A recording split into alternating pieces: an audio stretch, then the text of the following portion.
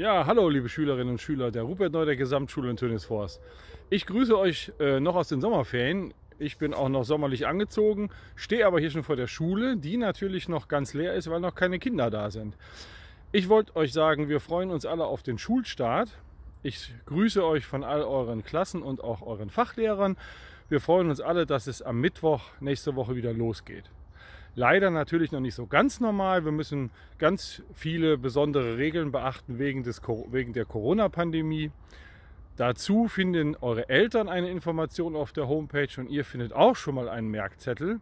Ganz wichtig ist natürlich, dass wir die Maskenpflicht haben. Das ist, wird sicherlich nervig werden im Alltag, den ganzen Tag mit der Maske rumlaufen und sogar auch im Unterricht die Maske aufzuhaben. Aber ich glaube, das ist aus gesundheitlichen Gründen wirklich wichtig. Genauso wie die zweite Hauptregel, Hygiene, Hände waschen, Hände desinfizieren und auch die dritte Hauptregel, die da heißt Abstand halten. Also wenn ihr zur Schule kommt Mittwoch, kein Abklatschen, kein Umarmen, Corona-Check kennt ihr mit dem Ellenbogen, das geht, aber den Rest müsst ihr leider lassen. Ich glaube, dass es wichtig ist, dass die Schule wieder richtig losgeht. Es wird auch das allermeiste, der allermeiste Unterricht wird ja auch regulär stattfinden.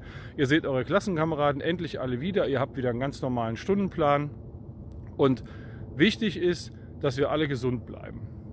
Ich wünsche uns allen einen guten Start am Mittwoch und ich wünsche uns, dass wir dann die nächsten Wochen gut weiterarbeiten können, gemeinsam das Lernen organisieren können und dass wir alle gesund bleiben.